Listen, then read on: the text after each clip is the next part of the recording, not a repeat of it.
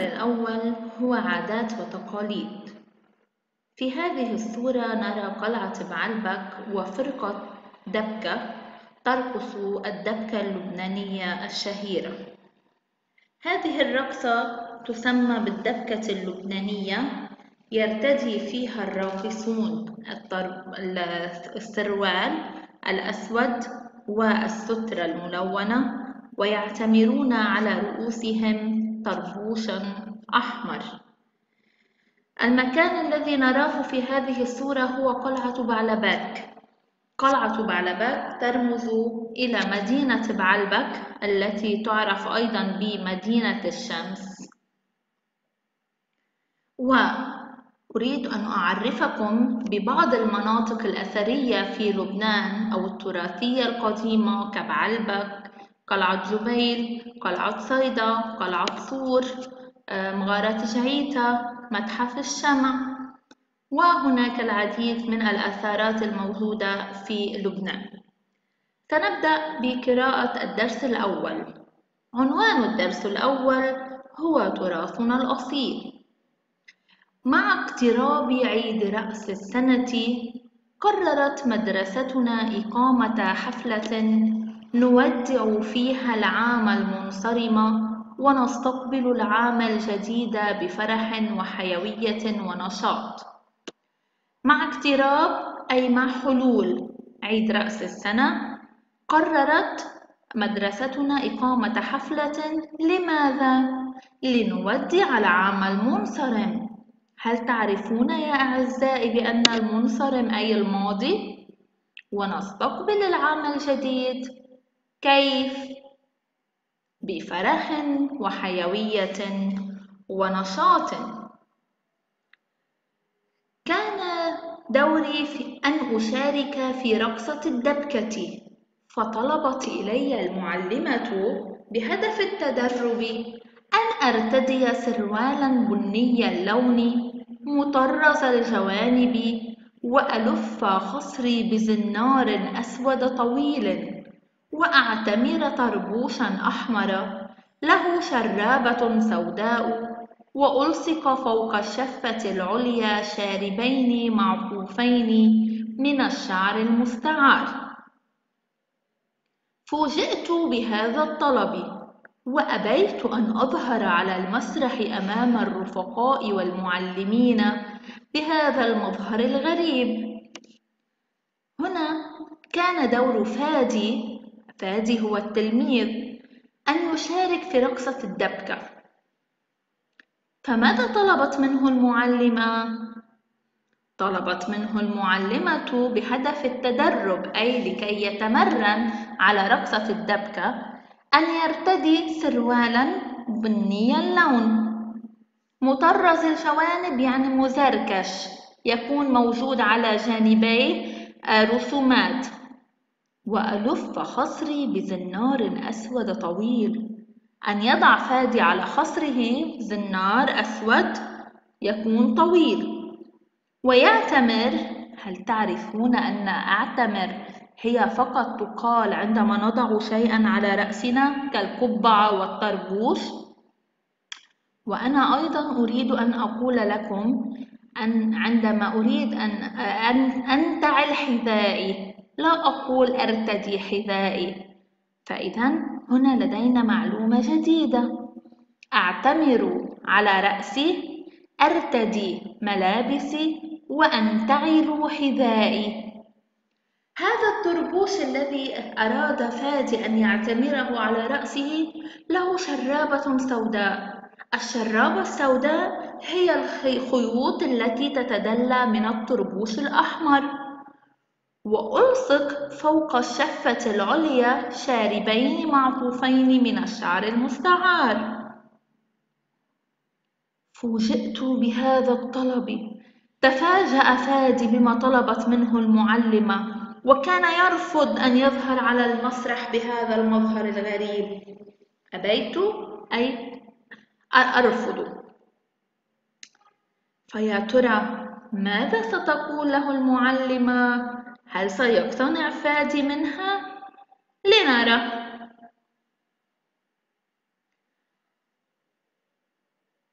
لكن المعلمة أرادت أن تشجعني وتزيل عقدة الخوف من نفسي فقالت لي عندما كنت في مثل عمرك أعلنت مدرستنا عن مباراة في أجمل زي فاخترت اللباس القروي القديم ونلت الجائزة الأولى.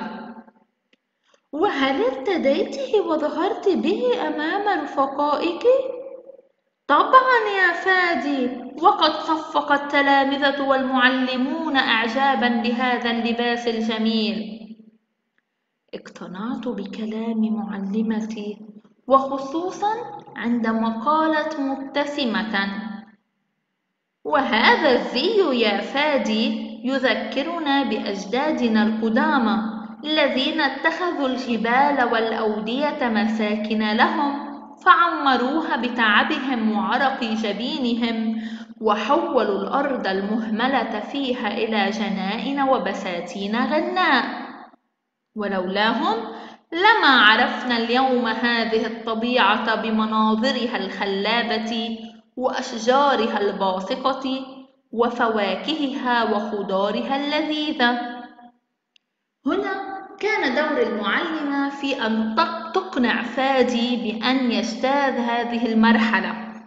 فقالت له وأخبرته قصة حصلت معها عندما كانت في سنه أي في عمره بأنها عندما كانت في عمر فادي طلبت أيضا معلمتها أن ترتدي الزي لاختيار أجمل زي في المدرسة.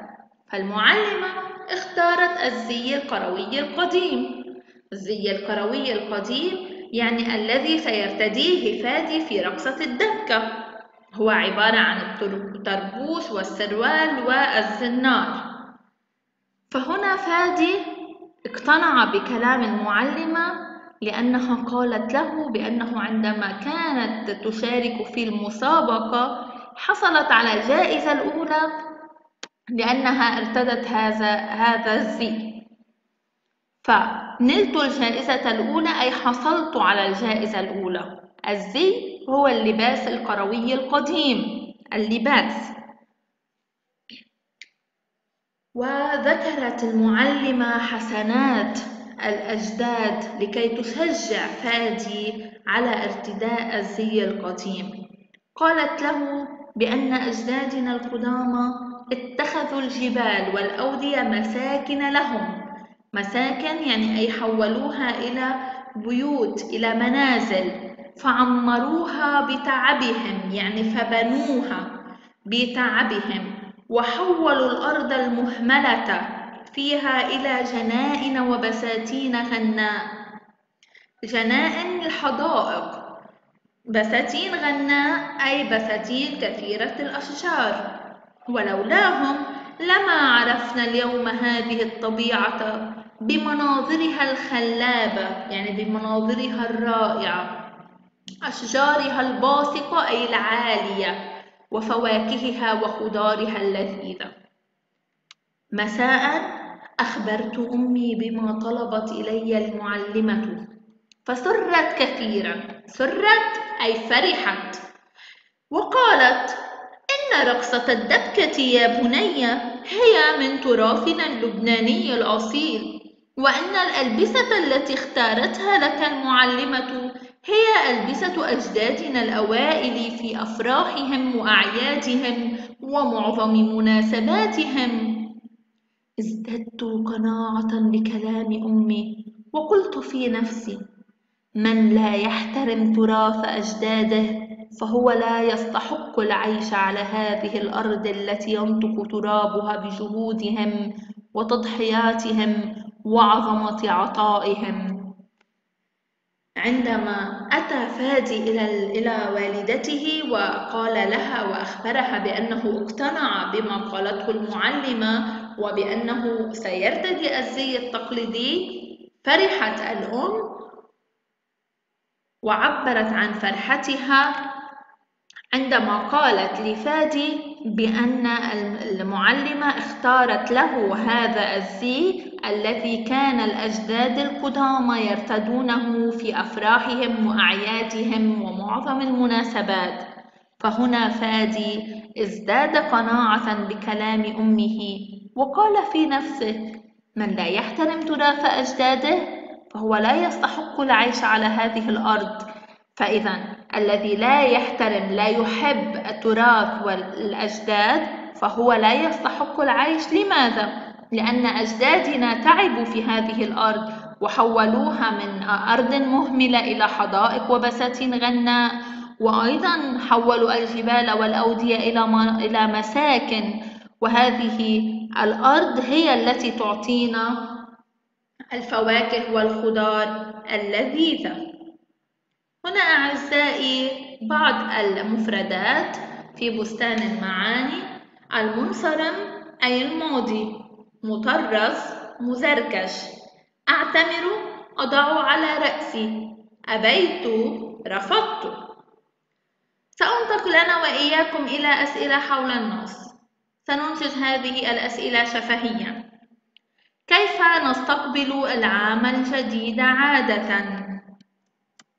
أحسنتم نستقبل العام الجديد عادة بفرح وحيوية ونشاط. مما يتألف الزي القديم الذي ارتداه فادي هل أعجبك ولماذا؟ أحسنتم يتألف الزي القديم الذي ارتداه فادي من السترة والطربوش والزنار الأسود ووضع فوق شفتيه الشاربين المعطوفين من الشعر المستعار هل أعجبك ولماذا؟ هنا تستطيعون أن تعطون رأيكم كما أنتم تحبون أنا سأقول نعم أعجبني هذا الزي القديم الذي ارتداه فادي لأنه هو رمز من رموز أجدادنا القدامى. طيب أحبائي بما يذكرك الزي القديم؟ يذكرني الزي القديم بتراث أجدادنا القدامى. السؤال الأخير حول النص ما النتيجة التي توصل إليها الكاتب أخيرا؟ وما رأيك فيها؟ توصل الكاتب أخيرا أنه اقتنع بأن يرتدي الزي التقليدي القديم. أعيد وأكرر بأن رأيكم ممكن أن يختلف عن رأيي. فأنا رأيي هنا بأنه عمل عملا صحيحا لأنه قدر جهود وعطاء أجداده واحترم تراثهم. ننتقل إلى المترادفات. ما مترادف الزي؟ الزي هو اللباس التقليدي القديم. طيب ما معنى يفيدني؟ يشجعني. أحسنتم. أرتدي. ألبس اخترت انتقيت انتقيت نلت حصلت على. والسؤال الأخير في هذا الدرس يا أعزائي هو أن أبحث في النص عن أضداد الكلمات الآتية. ضد نستقبل. هو نودع. ضد تخوفني. تشجعني. هدموها. بنوها. ينسينا. يذكرنا. أحسنتم يا أعزائي.